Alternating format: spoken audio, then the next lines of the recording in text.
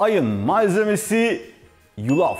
Yulaf içerdiği kaliteli karbonhidratla kan şekerinizi bir anda dalgalandırmaz. Bu nedenle yulaf tükettiğiniz zamanlarda hem tokluk hissiniz daha uzun sürecek hem de bir anda ani açlık atakları yaşamayacaksınız. Aynı zamanda içerdiği yüksek protein, doymamış yağlar, lif, vitamin, minerallerle muhteşem bir tahıl.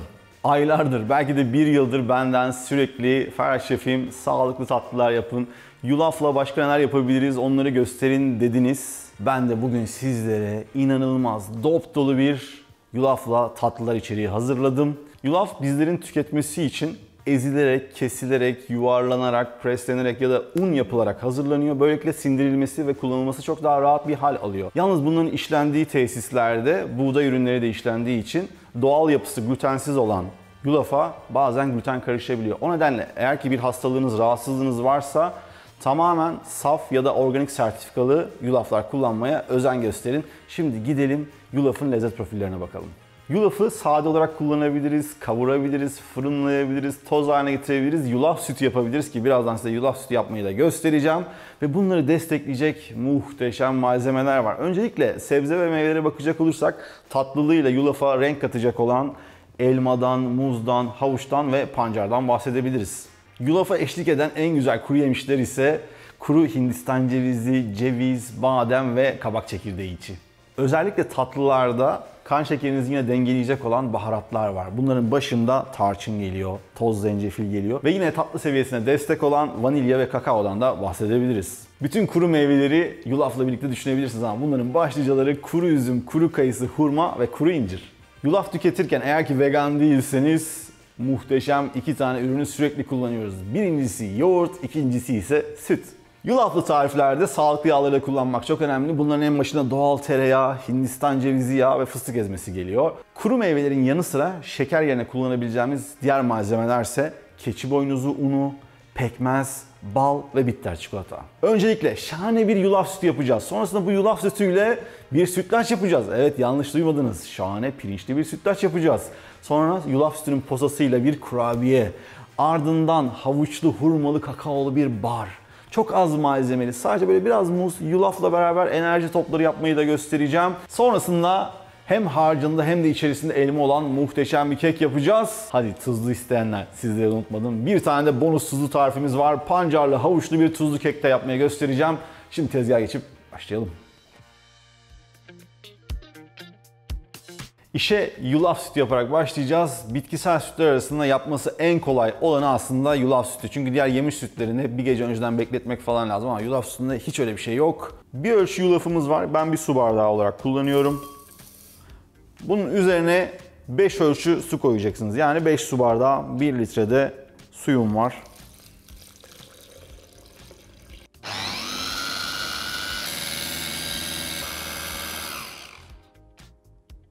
Hepsi bu kadar basit. Şimdi bir de süzme işlemimiz var. Bunun için ihtiyacımız olan ürünler süzgeç, temiz bir bez. Bu işler için evinizde bir tane bez ya da peynir bezi bulundurabilirsiniz. Karışımımızı yavaş yavaş bezin üzerine döküyoruz. Ara ara karıştırabilirsiniz. Böylelikle daha kolay gidecektir. Alttaki taneleri kazırsanız süzülmesi kolaylaşır. Yulaf sütümüz gördüğünüz gibi 5 dakika içerisinde hazır bir hale geliyor. Şimdi sütümüzü ayıralım. Bunu az sonra sütlaç yapacağız. Posa için de hemen bir tabağa alabilirsiniz bezinizi. Bu posayı kurabiyelerinizde kullanabilirsiniz, yoğurtla karıştırabilirsiniz, sütle beraber pişirebilirsiniz. Her şey olur. Ama ben bunlarla birazdan size kurabiye yapmayı da göstereceğim.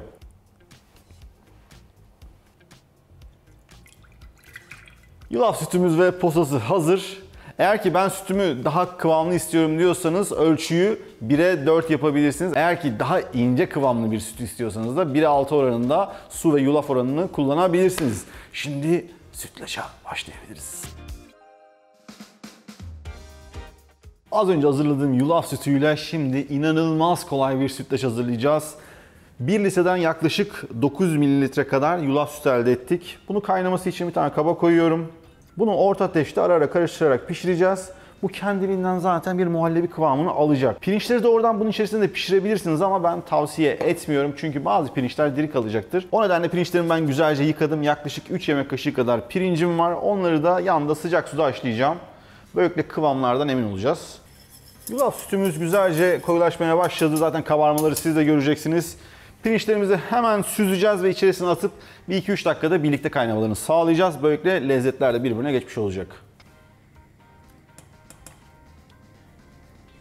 Ocaktan aldıktan sonra artık içerisine bir paket kadar vanilya ekliyorum.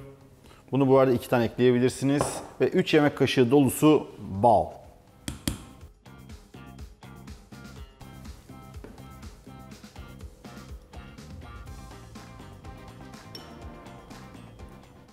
Önce oda sıcaklığında 1 saat. Sonrasında sertleşene kadar en az 4 saat buzdolabında bekleyecekler.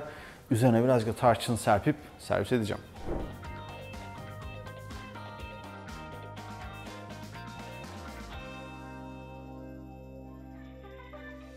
Sıra geldi yulaf sütünün posasıyla yapacağımız o muhteşem kurabiye. İçerisindeki malzemeler o kadar lezzetli ki yani kendi başlarına bile kurabiye olmadan şahaneler. Öncelikle bir yarım muz kullanacağız ya da ufak bir muz olabilir. Bizimkisi bayağı büyük.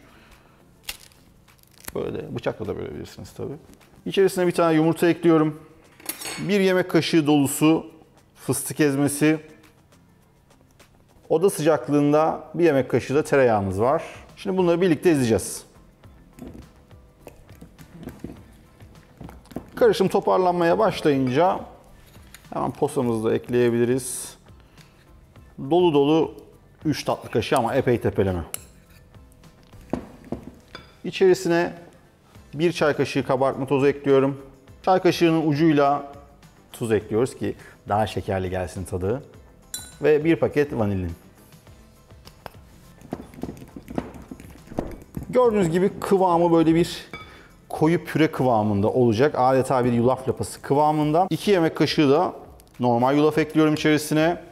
Ve 1 yemek kaşığı kadar da damla çikolata ya da çakıl çikolata ekleyebilirsiniz. Hepsi bu kadar.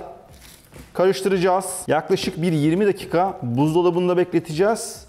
Ondan sonra fırına atacağız. Kurabiye hamurumuz buzdolabında güzel dinlendi, kendini çekti. Şimdi yağlı kağıt serilmiş bir tepsimiz var. İki tane çorba kaşığı yardımıyla da kurabiyelerimizi yerleştireceğiz. Çok yakın yerleştirmeyin çünkü birazcık açılacaklar.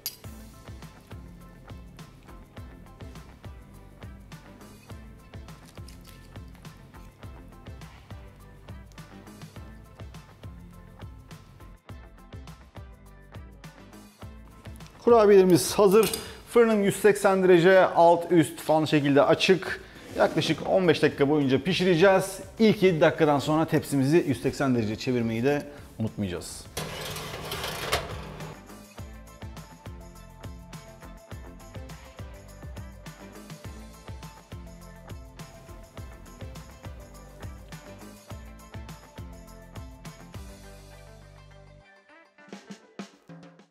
Krizlerinizi doğrudan kesecek muhteşem kakaolu, hurmalı bir yulaflı bar yapacağız.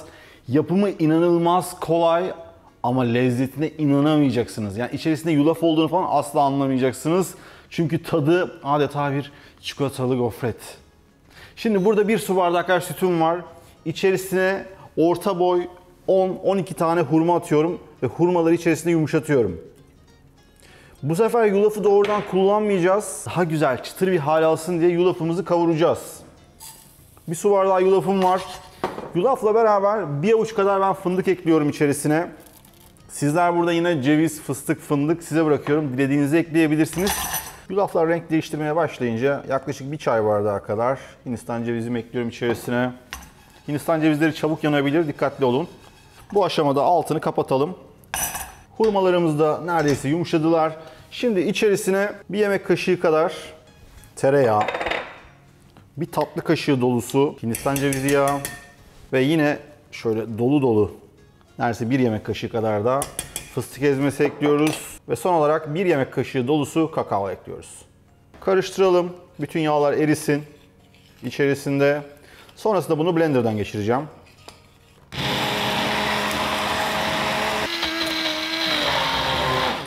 Hurmalar tamamen kayboldu. Gördüğünüz gibi kıvamı adeta bir çikolatalı puding.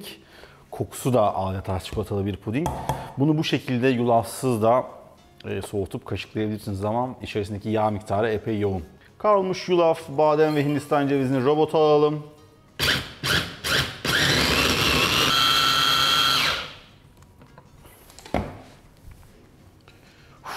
Kokuyu keşke alabilseniz böyle kavrulmuş hindistan cevizi ve yulaf kokusu bademle beraber muazzam kokuyor. Bir yandan da kakaonun kokusu burada. Bu tarife bayılacaksınız. Şimdi buradaki toz karışımımızı hemen yandaki kakaolu karışıma ekliyoruz. Bu karışımı tamamlayalım. Tamamen nemlendiğine emin olduktan sonra havuçlarımı da ekliyorum içerisine. Havuçları çiğden ekliyorum çünkü havuçtaki nemi tekrar yulaflar emecekler. Böylelikle tatlımızın kıvamı sürekli olarak çok iyi kalacak. Artık karışımımızı kalıba alabilirim. Ufak bir tabak ya da kek kalıbı kullanabilirsiniz. Çok az kalıbımı yağlayacağım. Sonrasında yağlı kağıtta koyacağım. Böylelikle kalıptan çıkmama derdine son. Harcımızı dökelim. Tabii bir anda dökülmeyecektir. Böyle kaşıkla koyarsanız çok daha rahat olacak. Daha şimdiden kıvam aldığını görebilirsiniz. Karışımızı özenle ve güzelce bastırdık. Bir anda sert bastırmalar yapmayın çünkü kaşınız içeriye göçer. Hafifçe üstünden gezdirirken basınç uyguluyoruz. Burada erittiğim bitter çikolata var. Üzerine onu gezdireceğim.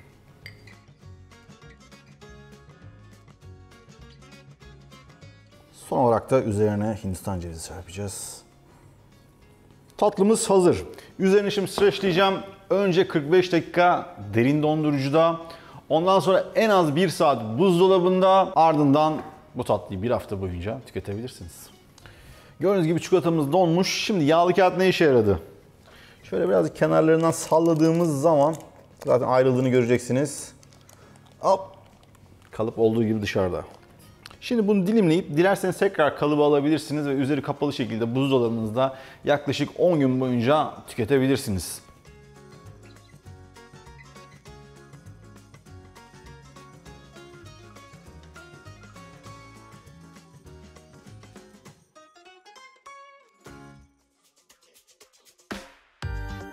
Şimdi de sıra geldi hiçbir pişirme işlemi uygulamadan yapacağımız muazzam enerji topuna. İçerisinde yine bir ufak muz ya da bir büyük muzun yarısını kullanıyoruz. Muzun olgun olması çok önemli. Muzumuzu eziyorum çatal yardımıyla. Muzu hafifçe ezdikten sonra içerisine bir dolu yemek kaşığı taneli fıstık ezmesi, bir tatlı kaşığı dolusu keçi boynuzu unu ekledim. Güzel bir tatlılık verecek. Eğer ki yoksa bu bir opsiyonel malzeme koymaya da bilirsiniz. İçerisine birazcık da böyle vücudumuza sıcaklık verecek, enerjiyi artıracak şekilde zencefil ekliyorum. Yaklaşık bir çay kaşığı kadar da toz zencefilimiz var. Ve bir su bardağı yulaf.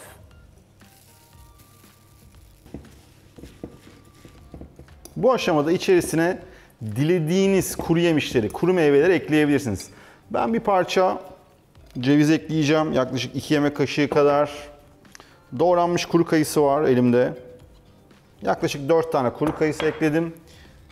Bir avuç kadar da kuru üzüm atıyorum. Malzemeyi sadece birbirine karıştırdık. Şimdi bunları bu şekilde yuvarlayamayız. Yuvarlamak için yulafların birazcık yumuşaması gerekiyor. Yine buzdolabına kaldıracağız. Yaklaşık yarım saat 45 dakika sonra da rahatça yuvarlayacağız. Ondan sonra yine dinlenecekler. Enerji toplarımız için yulaflarımız hafiften yumuşadılar. Şu elinizle dokunduğunuz zaman bir araya geliyorlarsa işlem tamam demektir. Şimdi içerisinden dediğiniz boyutta parçalar kopartabilirsiniz ama böyle misket köfte ya da böyle ufak domatesler boyutunda parçalar kafi. Elinize sıkarak yuvarlayın. Bu hali de şahane ama dilerseniz Hindistan cevizine bulayabilirsiniz. Başka yemişlere bulayabilirsiniz. Sade bırakabilirsiniz. Nasıl arzu ederseniz.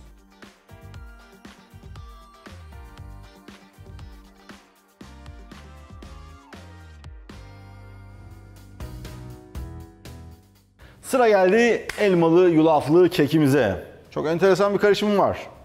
Doğruca robotun içerisine iki tane yumurta ekliyorum. Bir tane soyulmuş elma. 2 yemek kaşığı normal yoğurdum var. Bir su bardağı süt. Yarım çay bardağı kadar üzüm pekmezi ekliyorum. Erimiş tereyağımız var. Yine yaklaşık yarım çay bardağı kadar. Biraz tarçın. Yarım çay kaşığı. Bir tane kabartma tozu. Bir su bardağı yulaf. Ve bunları karıştırıyoruz.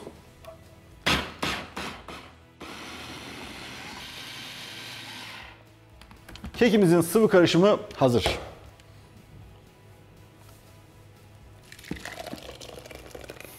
Sıvı karışımımızın içerisine şimdi yine yulaf ekliyoruz. Bir su bardağı. Bir tane de küp doğranmış elma ekliyorum. Bundan sonrası opsiyonel. Ceviz, kuru üzüm, diğer kuru yemişler ne isterseniz. Tarçını biraz daha arttırabilirsiniz. Hatta ben tarçın severim. Biraz daha tarçın. Toplamda bir çay kaşığına tamamladık. Ve şimdi bunları güzelce karıştırıyoruz. Karışımımız hazır. Orta boy bir fırın kabımız var. Sadece yağlıyoruz. Dilerseniz yağlı kağıtla serebilirsiniz.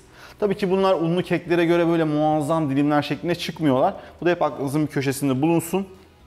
Şimdi bunu kalıbımıza dökelim. Fırınımız 180 derecede fanlı, alt üst açık. Yaklaşık 40-45 dakika sonra kekimiz hazır.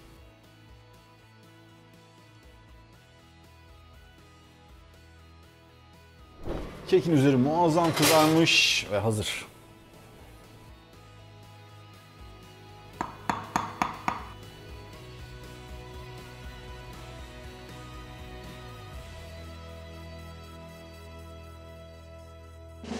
Bu kadar güzel tatlının üzerine söz verdiğim gibi sizlere bol sebzeli bir tane de tuzlu kek göstereceğim. Öncesinde bir tane soğanım var. Kırmızı soğan kullanırsanız çok daha lezzetli olur. Onu ufak ufak doğrayacağız ve birazcık zeytinyağıyla soteleyeceğim. Soğana tuz ekliyorum bir çay kaşığı kadar. Soğanlarım yumuşadı. Altını kapattım. Onlar burada biraz dinlensinler. Biz de güzelce büyük bir kasenin içerisine önce havuç ve pancarımızı rendeleyelim.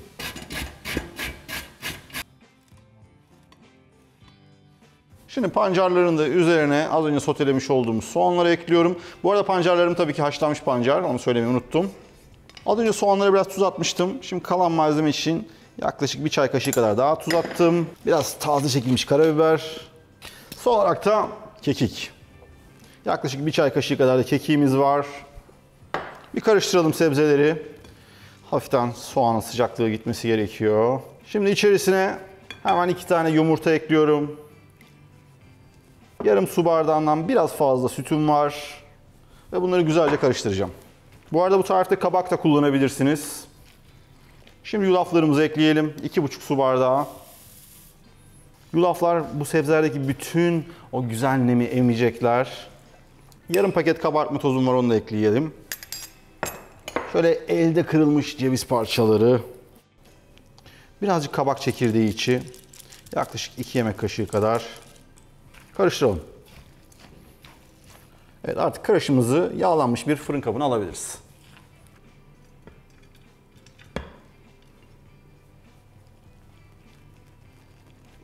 Fırın yine 180 derecede fanlı alt üst açık yaklaşık 45 dakika.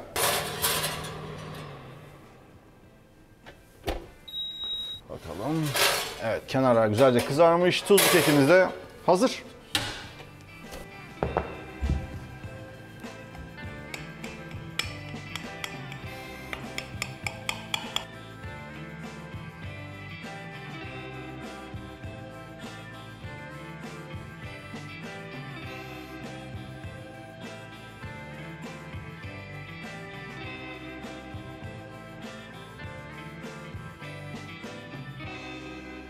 Şahane bölüm olmadım ya. Yani yulafa dair bence yapılabilecek en güzel tatlıları hatta muhteşem bir de tuzlu tarif yaptık. Bu kadar dop dolu bir içerikle sizden tek beklentimiz var. Abone olmanız. Şimdi bunların hepsinin tadına bakmak için sabırsızlanıyorum. Çünkü yok efendim soğudu, yok efendim karıştı derken tadına bir türlü bakamadım. Sanki birazcık daha donsu olacakmış ama kıvamı şu anda epey güzel. Üzeri güzel kabuk bağlamış, pelte gibi. İçerisindeki tek malzeme var.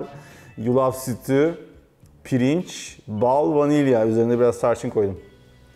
Hmm. E, süt olmadığı için içerisinde sütlaç tadı gibi değil de bunun tadı bir anda size ne hatırlatır biliyor musunuz? Zerdeyi. İçerisinde birazcık e, gül suyu, Ee, birazcık da safran olsa epey zerde tadında. Şekerliliği içinse e, 4 yemek kaşığı bal bence daha ideal oldu. Damak tadınıza göre tabii ki bunu değiştirebilirsiniz. Renginden rahatsız olmayacaksanız pekmez koyabilirsiniz. Keçi boynuzu tozu koyabilirsiniz. Çok güzel. Soğuk soğuk var ya. Üzerine meyve falan her şey olur buna. Yaptığımız yulaf sütünün posasından da şahane bir kurabiye yaptık. Normal ün kullanılmış kurabiyeler gibi böyle aşırı sert olma ihtimali yok. Çünkü içerisinde epey nemli malzeme var ama dokusu sizi çok mutlu edecek. Çünkü içerisi yumuş yumuş. Hmm. Hmm. Muz tadı enfes. Arada gelen çikolatalar muazzam.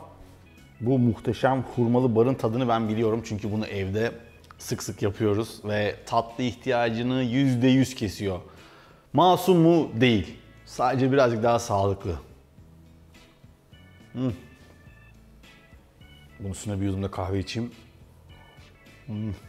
Bu çok acayip bir şey. Özellikle mozaik pasta seviyorsanız kesinlikle o tadı çok andırıyor. İçeriden gelen havuçların çünkü ne olduğunu çok anlayamıyorsunuz. Böyle kıtır kıtır havuçlar geliyor. Kavurduğumuz yulaflar da içeriden böyle muhteşem bir çıtırlıkla ağzınıza çok güzel bir tat veriyor. Bu tarifi mutlaka deneyin. Sıra geldi enerji bombasına. İçeriden gelen o kayısının ekşiliği, ceviz parçaları bu inanılmaz tatlılıkta. Bu arada şeker oranı epey epey yüksek çünkü kuru meyvelerden çok fazla bir şeker tadı geliyor. Bunu daha ufak boyutlarda yapıp büyük krizlerde ya da enerji ihtiyaçlarında bir tane patlatabilirsiniz. Sıra geldi elmalı keke. Yalnız dokusuna bayılacaksınız. Tabii ki dediğim gibi normal bir kek görseli beklemeyin ama o kadar da dağılmıyor. Hatta epey düzgün duruyor. Üzümler, pekmezin tadı, ceviz, aradan gelen elma parçaları, tüm o sıvıyı çekmiş yulaflar çok çok hafif. Ya bununla bir dilimle asla yetiremezsiniz. Ve sıra geldi pancarlı, havuçlu, tuzlu keke.